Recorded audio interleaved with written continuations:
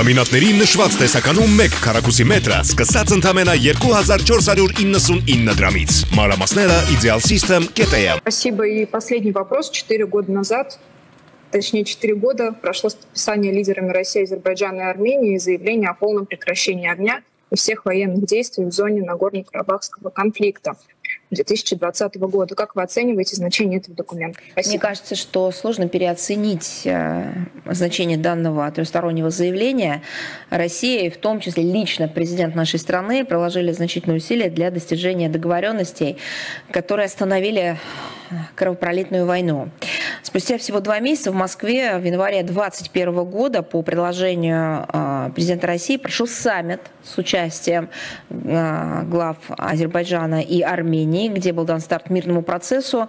А, также была создана трехсторонняя рабочая группа под сопредседательством вице-премьеров трех стран по разблокированию всех экономических, транспортных связей на Южном Кавказе. А в дальнейшем на основании заявления 9 ноября 2020 года был сформирован весь комплекс трехсторонних договоренностей. Были определены основные направления армяно-азербайджанской нормализации. Это и выработка мирного договора, и снятие взаимных транспортных э, озабоченностей, имеется в виду блокады, и, и делимитизация, делимитация и демаркация границы и развитие контактов по линии гражданского общества. Ну и когда шла активная работа вот на такой трехсторонней основе, удалось добиться реальных, серьезных результатов по широкому кругу вопросов. Например, в июне 2023 года в рамках трехсторонней рабочей группы мы были близки к практическому восстановлению транспортных маршрутов в регионе, однако под давлением Запада, Ереван, как было сказано, заморозил свое участие в группе, а затем и во всех трехсторонних форматах.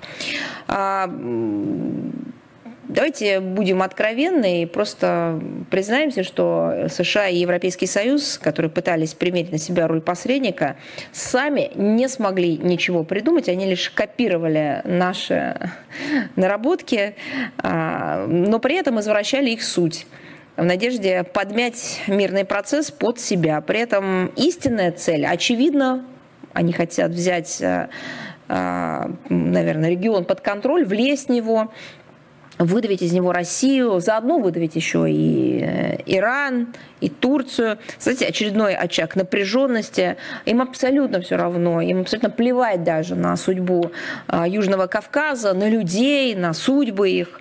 Ну, у них свои собственные амбиции. И мы, в отличие от западников, заинтересованы в безопасном, стабильном, процветающем Южном Кавказе.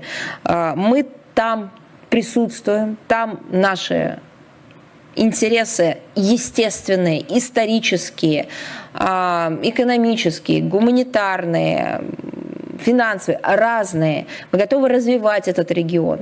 А, и потому что это в наших интересах, и потому что это гарантия стабильности и безопасности. А, вот э, на, э, на этой части э, нашей планеты российская страна готова оказывать азербайджанским и армянским партнерам и впредь всестороннее содействие в целях достижения устойчивого мира и благополучия в регионе на основе трехсторонних договоренностей на высшем уровне.